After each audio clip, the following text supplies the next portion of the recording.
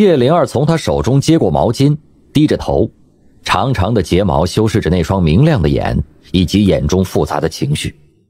他轻声说道：“我又不是来送他的，不是来送十三哥，难道是来陪我赏雪的？我真是不明白你们究竟是怎么想的。这都一个多月了，还想初见面时在青州城那段？师傅，我可没有想什么。”叶灵儿抬起头来，很认真的说道：“明年四姑剑就死了，东夷城内分了两派意见，正在争执不下。王十三郎此次回东夷。”只怕也得烦心。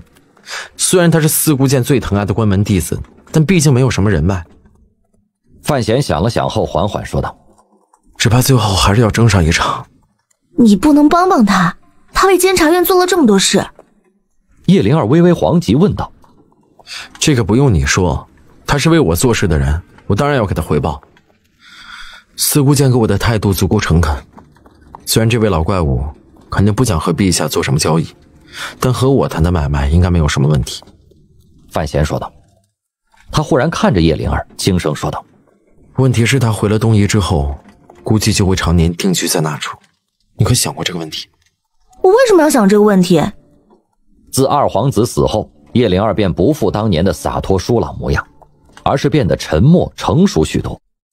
虽然在范闲这些熟人的面前，依然谈笑无羁。但不论是范闲还是林婉儿，都能看出这位女子心底最深处的那抹阴影。直到青州与王十三郎见面，互为一对风景之后，叶灵儿的情绪似乎才从边关的军马中摆脱出来。范闲很乐意看到这种变化，但也知道以王十三郎的身份，两个人的事情确实十分困难。他摇了摇头，不再细述这个问题。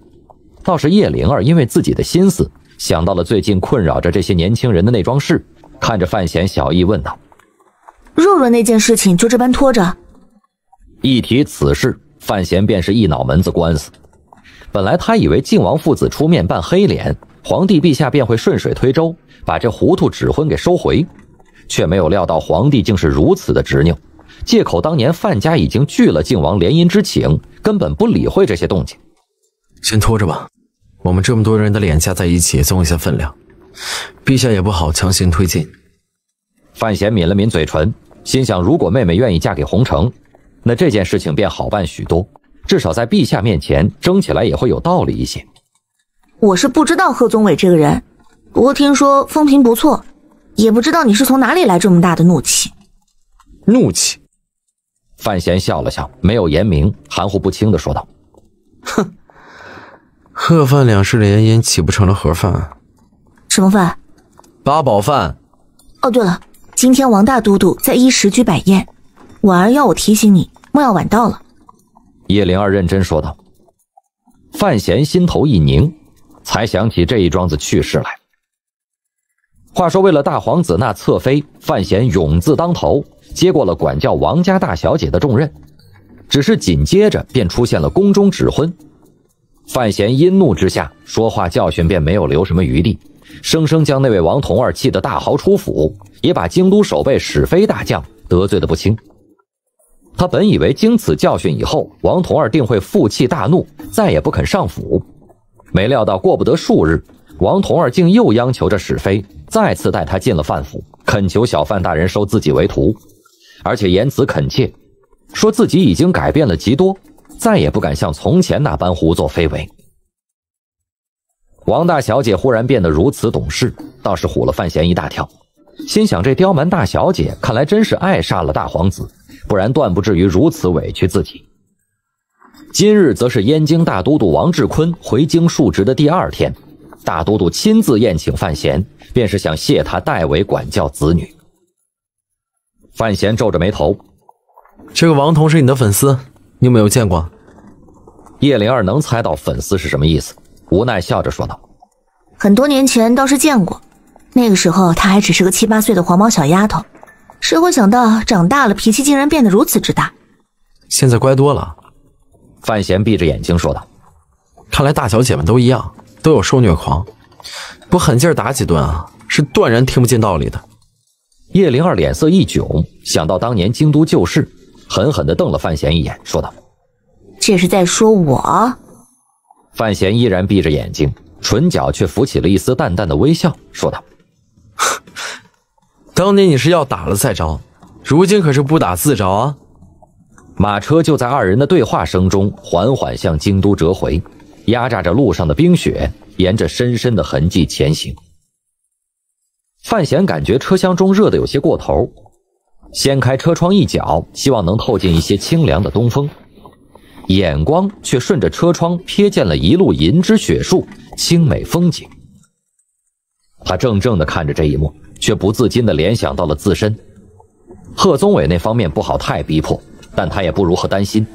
待明年解决了东夷城之事，替大庆立下一个大大的功劳，皇帝老子再如何克利寡恩，只怕也不忍再逼迫自己。只是这一路风雪，马儿困难前行。范闲忽然觉得自己就像是皇帝套中的一匹马，被迫努力地破开风雪，拖着一个庞大的马车，向着远方前进。而那远方，并不见得是马儿想去的地方。他深深地吸了一口气，任由寒风冷却了自己的胸膛以及胸膛里藏着的那颗心，放下了车帘，闭目静思。不论是西凉还是东夷，他如此努力地奋斗着。其实都是在为皇帝做马前卒，而他也不想改变这一切，因为整个世间，他暂时还没有勇气挑战的，也只有这位深不可测的皇帝老子了。如果五竹叔和箱子还在身旁，那情势一定会有极大的改变，只不过那种改变不见得好。范闲摇摇头，甩走这个恼人的可能。五竹叔虽然名义上是自己的仆人，但实际上是自己最亲的亲人。每个人都需要寻找自己生命里最重要的事情。好在这位皇帝陛下已经改变了很多。他最近和范闲以及靖王爷赌气一事看来，虽然极为过分，但至少也显出了几分人气，或者说是老人气。不论是哪一种气味，至少都证实了这位陛下开始从神坛里走了出来，不再是高高在上的一个虚无光彩的身影。冬去春来。又是废话，好吧。总之，在一个春光明媚的日子里，庆国早已送走了下得稀里糊涂的无数场雪，迎来了转暖的天气。初生的绿芽，瑟瑟的翠花，而庆国北方的第一重郡燕京，则是迎来了一行身份格外重要的队伍。此时天时已入三月，官道两侧青树抽枝，于春风之中招摇，就像是举着花束喊欢迎欢迎的孩子。看来，连这些植物都知道这行队伍的重要性。